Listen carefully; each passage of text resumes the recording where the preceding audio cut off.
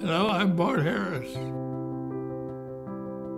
That's one of the happiest things that have happened in my life that I was able to bring some happiness to the remembrance of my darling wife, my, my dear, wonderful wife, Brigitte.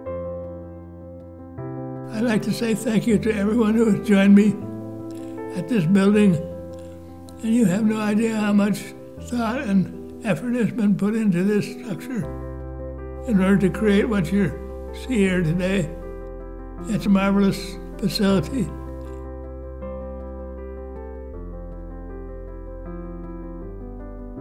It is a gift for mankind. It's much larger than just my family. I'm hoping that it'll spread all over the world. Thank you for being here today and sharing this moment with us.